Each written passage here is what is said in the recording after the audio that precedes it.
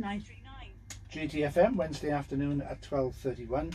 Um, a very special guest today is Mark Colbourne. Uh, good afternoon again, Mark. Hi. So, we had this terrible inju- in, uh, injury, and then, of course, we had all the treatment. How long did the treatment actually last for then, before you actually got back to walking again? I- initially, it was probably about 12 months. Mm, okay, right. when I was functional, using crutches, um, almost self-sufficient. You know, moved back in with obviously my uh, my parents in Tredegar, and they were just so supportive, Gareth. You know, they really were.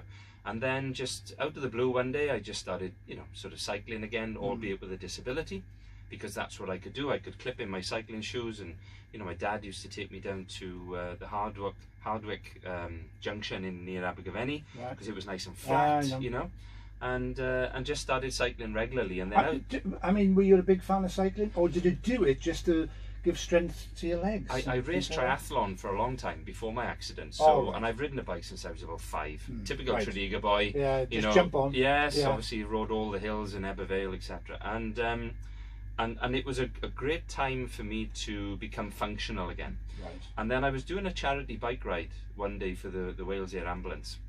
And this chiropractor said to me, What's wrong with your legs? Told him the story, broke Mm. my back 12 months ago, lower leg paralysis. You know, half of my legs don't work, but half do. Yeah. And he said to me these words He said, um, Can I ask you a question? I said, Yeah, of course. Are you training for the London 2012 Paralympic Games in two years' time? I said, No. Why the hell would I do that? yeah. Don't be silly. yeah. He said, Well, I think you should. All right. And the light bulb moment went off. Yeah. And I thought to myself, It's something you just didn't think of. What if I what if I can get to the games? Mm. That- What that- if? Yeah. What, What an if? achievement that would be. So I worked with Disability Sport Wales in Cardiff and a wonderful, wonderful coach called Neil Smith. Mm. And Neil Smith was a volunteer for, for DSW and he's a cycling coach and he understood, you know, obviously what it takes to get into British cycling as a facilitator, right. you know. Okay. And Neil is just an incredible mentor that, you know, is still one of my best friends today. And he had that conversation with British Cycling and said, Look, we've got this guy, he's 41. Mm. He's a bit old, but he's got a huge engine. Yeah. You know, he's got strong legs Motivation. yeah. and he's got the commitment Mm. because that's what you need to do is commit. And coming from Tredegar, all weather experience as well. Yes, The cold, the warmth. be- because I suppose snow. in in cycling there's no such thing as bad weather, No. only a bad choice of clothing. There we are. That's a good point. So yeah. Neil said to British Cycling, "I've got this this young man, um, and uh, I think you should take a look at him." Mm. So they said, "Well, where, where, where does he come from? You know, we've never seen him before. We're literally now two years out from London. Right. You know, wh- where does he come from?" And uh, Neil said, "Well, he's uh, he's fell out of the sky."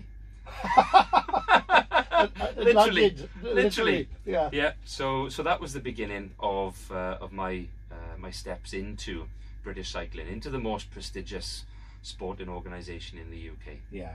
So, um, you eventually qualified for London 2012, and the rest is history. So, that that build what was the selection process like then? That probably went on for a good couple of months. Well, well, I was uh, I was elevated up to Manchester on lottery funding uh, Mm. in September 2011. So Right. still one year one year from the games, and uh, and obviously training full time as a full time professional athlete, um, and and it was a childhood dream come true, Mm. you know. Unfortunately, I had to give up chocolate, Gareth. Oh no! I I, had- I, no, well, I, I could never, I could never, I could never become a cyclist. I had to give up alcohol. I got chocolate. Chocolate. So, so that that that um, moment of stepping into the environment of British cycling was Mm. just so clinical, Right. because you have to be, you know, as a Mm, professional yeah, athlete, yeah. and and I loved it. Mm. So over the winter, did lots, thousands and thousands of miles of training, you know, and trained on the velodrome in Manchester. So did you cross paths with Sir Chris Hoy then? Yes, Yeah. uh, every Tuesday and Thursday we used to share the track with the Olympic team, Right. uh, Vicky Pendleton. right. yeah. Um, you know, you had some amazing athletes on there. You know, some sprinters, some endurance riders. Um, you'd have the odd, uh, you know, the odd gym session with some just A-list celebrities. You Mm. Know, it's just incredible. It's Yeah. quite uh, mind-boggling. quite Yeah. mind-boggling. So, so then I qualified for the World Track Championships in February 2012. And where were they held? they were held in Los Angeles. All right. Um, and I was very privileged to win the Right. three kilometre per We're not privileged, good enough to win. That's well, the key, it, isn't it? it is a privilege to a certain degree because you know you're given that opportunity. But the downside was that my dad unfortunately passed away a day Oh. before I won the worlds, Oh. and that for me was heartbreaking. You know, seeing Mr. Nice Terrible, Guy, terrible timing. my inspiration, never seeing me win the worlds. You know, Mm. um, but like my mother said, you know, he probably knew in his heart. You know, um, and that was seven months before the games, and then that epic. Gareth, that Mm. epic summer of sport where the whole country got Just behind came us. together, didn't it? And for Just anybody who, for anybody who watched the Olympics, you know, it was a great warm up for the Paralympics. Yeah, absolutely. yes, that, that was the warm up. Yeah. Yes. And you won the gold.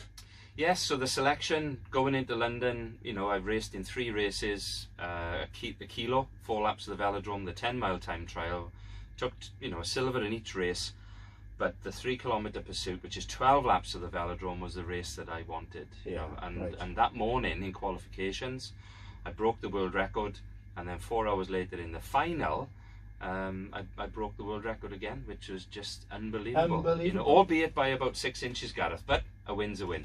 Well done, sir. Yeah, absolutely fantastic. Now you've been kind enough to bring your gold medal in. Yes. Now we recorded this for YouTube as we often do, so we'll uh, we'll show this to the camera. Uh, Yes. all right. Yes. Let me just uh, hold it. So this there. is 400 grams of Paralympic gold medal. Um, and the, the, the great thing for me is that they were made in the Royal Mint. They were. That's They right. were. In Llantrisant, Yeah. of course. Yeah, so it's That's the uh, closest I ever get to a medal. let me tell you. Brilliant, Mark. So Excellent. yeah, yeah, it was a great for- moment in time because I think when you, I mean, you this quite a big medal, isn't it? yeah, as well, it's 400 grams and you know it's obviously a Yeah. large diameter as well. But I And a, think a lovely box as well. It comes in presentation box. Brilliant. I think knowing after London, was all the hard work worth it? Yes. Was the legacy of 2012 something that was going to impact the country? Yes, but not straight away. No, You know, we're now seven years down the line Mm. and we're still talking about London. We're still talking about the Olympics and Paralympics to the point where people are actually so proud, you know, Mm. to have been part of the games. Yes. The games makers, you know, the commissaires, Yeah. the judges, and obviously the athletes. Brilliant. You know, it was just, uh, it was just incredible. And you went to Rio in 2016 as a as a broadcaster for Five Live. Yes, yes, it was quite weird because I obviously hung up my cycling shoes. Um, you know, I think it was September, October, uh, 2013. Mm. So going into 2014, because I I decided to retire, I thought, well, I've achieved it. I've, achieved it all. It. World champion, world record holder, Paralympic gold medalist.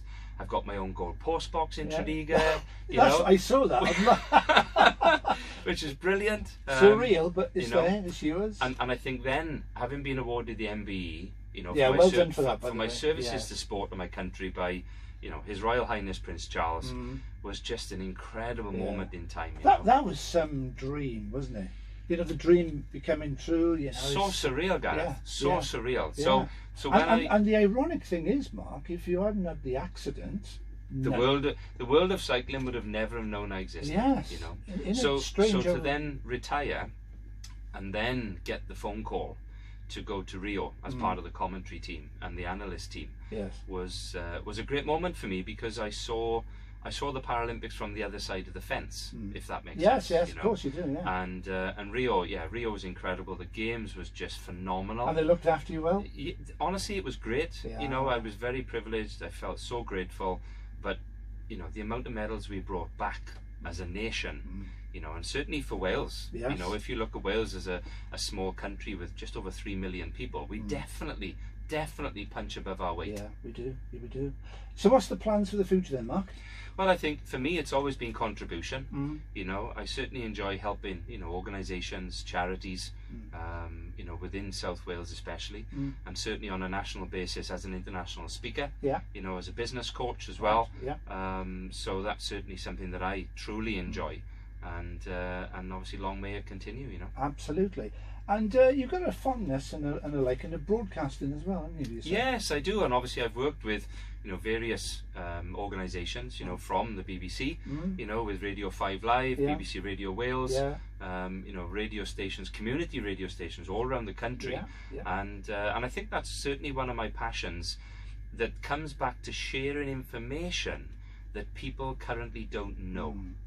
I honestly think, and I'm not, I mean, I'm going to sound biased, obviously, but I think there's a huge place now for community radios. uh, because it, it sort of enhances the community spirit between people in communities. And Yeah, uh, yeah, yeah. GTFM is one of the you know the number one stations in Wales for that sort of thing. Yeah, but the important thing is, and the training that I've had is to uh, tell people something they don't know Mm, and take them somewhere they've never been before. that's a good uh, way of putting it. Absolutely. Mark, it's been a privilege. I got a funny feeling you might be on the uh, on the airwaves of GTFM soon.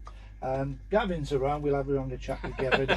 I'd love it. I'd Yeah. love to. I'd love to help everybody. I really yeah. would. Well, yes. you, well, well done uh, on on a the recovery and that strong spirit that brought you through it. Well done, obviously on the cycling and all the great achievements uh, of becoming the world champion, and of course the 2012 Paralympic gold medalist. There's something nice about that too, isn't there, when you say it? Yeah. Gold medalist. You know? Yes, yes, And well done on the definitely. MBE as well. Thank you very much indeed. Mark Colbourne, MBE. Thanks very much, Mark, and Merry Christmas as well. Merry Christmas to you, Gareth, and Merry Christmas to all the listeners. Thanks. Another two of the world's best songs brought to you by Pontypridd Okay. Market. Excellent. Double the Good. choice, Well double Good, the good. value. Thank you.